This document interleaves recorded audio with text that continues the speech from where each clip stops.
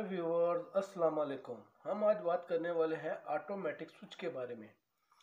जैसे कि हमारे घर के अंदर एक मेन आ रही होती है लेट जाने की सूरत में हमने जनरेटर का इस्तेमाल करते हैं, उस सूरत में हम इसको लगाते हैं। सबसे पहले जो हमारी मेन खंभे से तारें आ रही हैं उनको एक ब्रेकर के साथ लगा लेंगे एज ए सेफ्टी के तौर पे, क्योंकि अगर मेन हमारी कोई बेल्ट होती है, तार चेंज हो जाती है या कोई मसला होता है तो हम इसको ऑफ़ करके उससे कंट्रोल कर सकते हैं।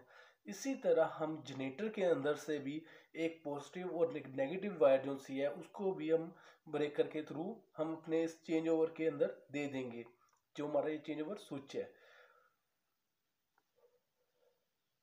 उसके बाद जो हमारी आउटपुट है, हम इसको जो एक सेट की है, वो हमने जो अपने घर के अंदर डीपी लगाई हुई है, जो घर करंट देने के लिए लगाई हुई है, उसके अंदर इसको दे देंगे। एक पॉजिटिव तार और एक नेगेटिव तार।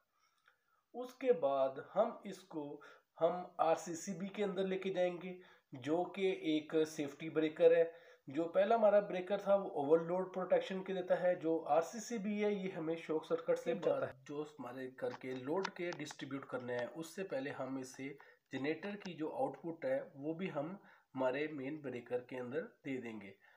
अब हमारे जो न्यूट्रल है और फेस है वो घर में लोड के मुताबिक हम बाकी ब्रेकरों में डिवाइड कर देंगे और हमारे घर को आउटपुट दे देंगे।